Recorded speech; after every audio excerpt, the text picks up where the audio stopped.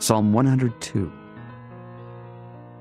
A prayer of the afflicted when he is overwhelmed and poureth out his complaint before the Lord.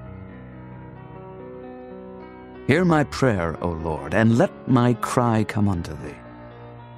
Hide not thy face from me in the day when I am in trouble. Incline thine ear unto me. In the day when I call, answer me speedily. For my days are consumed like smoke, and my bones are burned as an hearth. My heart is smitten and withered like grass, so that I forget to eat my bread. By reason of the voice of my groaning, my bones cleave to my skin.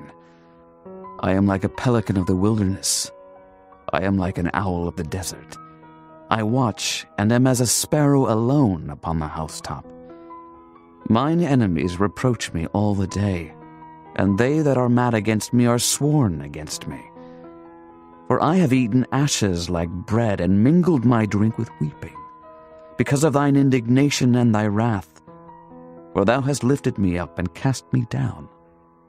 My days are like a shadow that declineth, and I am withered like grass. But thou, O Lord, shalt endure forever, and thy remembrance unto all generations.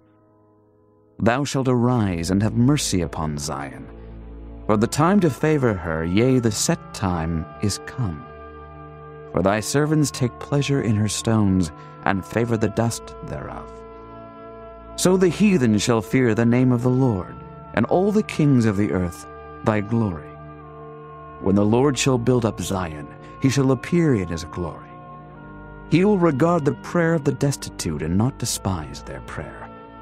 This shall be written for the generation to come, and the people which shall be created shall praise the Lord. For he hath looked down from the height of his sanctuary. From heaven did the Lord behold the earth, to hear the groaning of the prisoner, to loose those that are appointed to death, to declare the name of the Lord in Zion, and his praise in Jerusalem, when the people are gathered together and the kingdoms to serve the Lord. He weakened my strength in the way. He shortened my days. I said, O my God, take me not away in the midst of my days.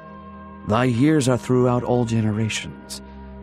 Of old hast thou laid the foundation of the earth, and the heavens are the work of thy hands. They shall perish, but thou shalt endure. Yea, all of them shall wax old like a garment.